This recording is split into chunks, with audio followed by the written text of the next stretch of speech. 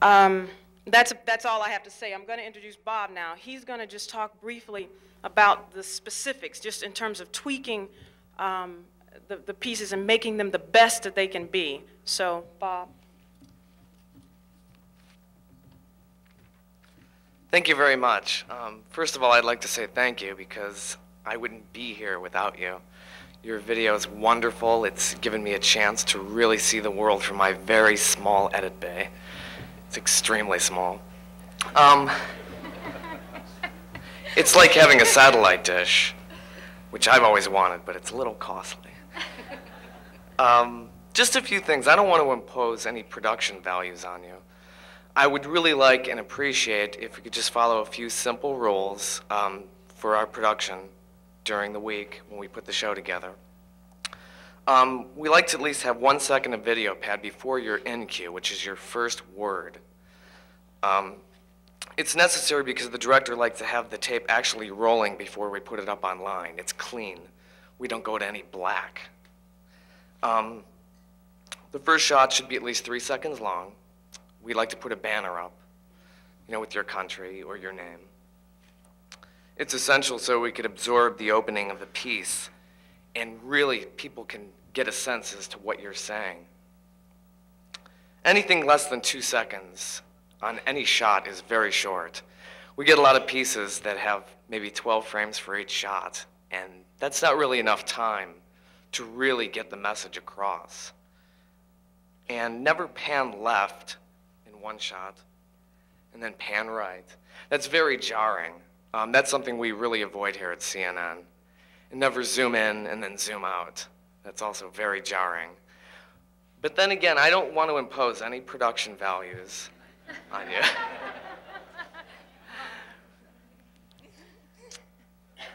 Jump cuts are also a very big problem.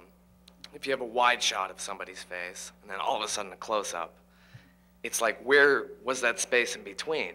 We lost some time there. That is also very jumpy. We don't like that. I don't like to have very hot video. Whenever you're shooting, I like to keep the levels under 100%.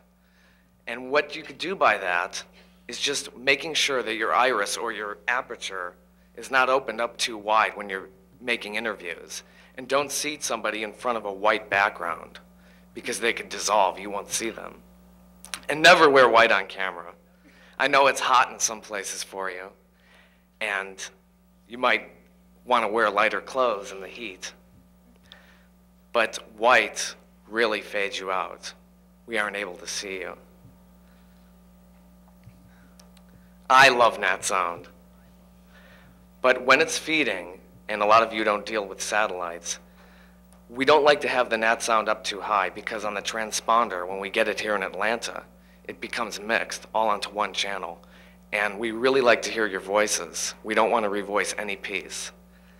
So I think that if you send a note to wherever you're sending it to, like London or even the Tokyo Bureau, if that nat sound is down and your voice is dominant, we can hear it. And the piece is like the original. I don't have to do very much to it. I really don't like to change the pieces. Also, video pad at the end, when you say your out cue for CNN World Report, I like to have video pad so the director can get out and not go to black. And if you don't have freeze capabilities, let the reporter stand after the out cue. You might feel foolish, but we won't stay on you that long. Thank you very much. And if you have any questions, I'm here to help.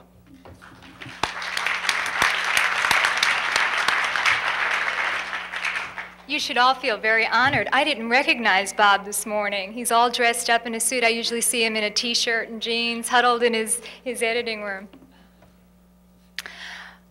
Let's take some questions, and, I, and I'd really like to, we'd all like to hear about what you think about the content of the program and some specials that you would like to see us do. I think you can tell how fortunate I am by working with all of these people. They're very dedicated to the program. They care about each and every one of you.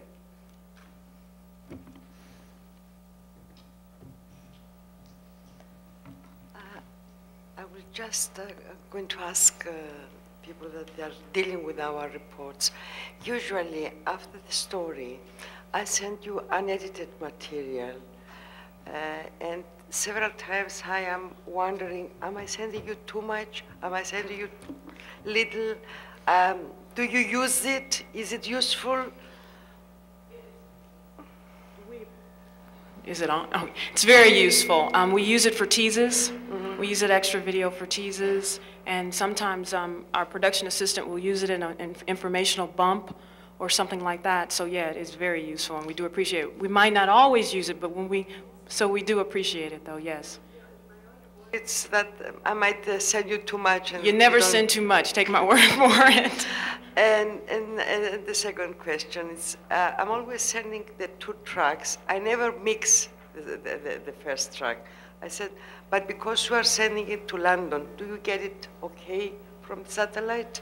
That depends on the person who's sending it from London. And usually we have somebody like, like Octavia or Kim or Nicole who are very good at taking in feeds, really trying to explain to those people as we're feeding to keep that nats, natural sound down. So it might not be you on your end, but when it goes to London and they're feeding it, Well- that's important.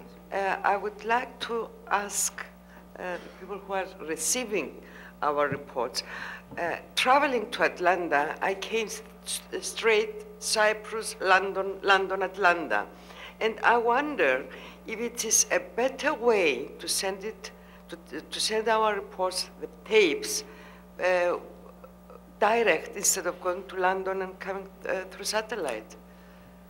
I, I think that if it's a timely report, it's much more efficient for you in particular to send it to London. If it's a news story, if it's one of your feature stories, I think that it's all right if there are, are flights that accommodate that to send it directly here.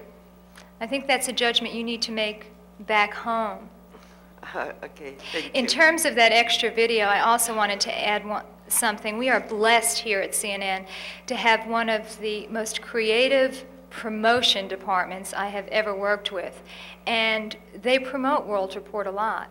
So that extra video and that extra nat sound that we get in, we give it to them to, produ- to produce and promote promotions for us. Uh, some time ago, I received a telex from you requesting to run the tape twice uh, to get the commentary and the natural sound.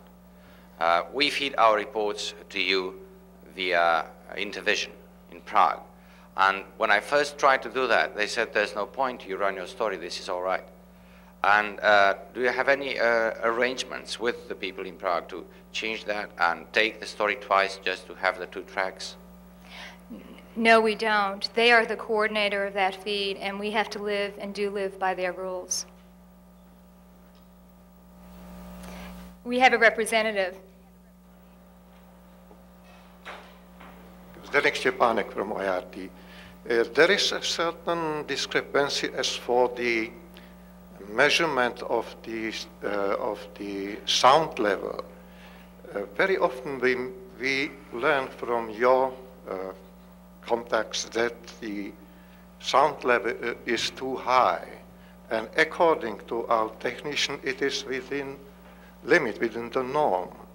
And this is repeated many times so that we cannot explain this phenomena. No, it's in your limit, then you're okay. When it's feeding, that could be the playback operator who is peaking way over the 100% level. And that's the key to everything, is to keep everything at or between 80 and 100%.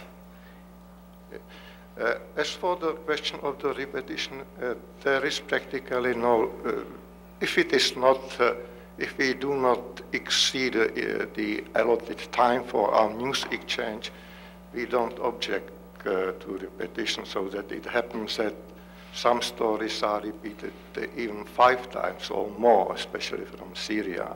So that if something goes wrong, we are ready to repeat it or to repeat it the following day. Thank you. Um, in some countries, uh, such as Japan, CNN has its own bureaus. And in fact, the Tokyo bureau is right across from the street uh, for us. Um,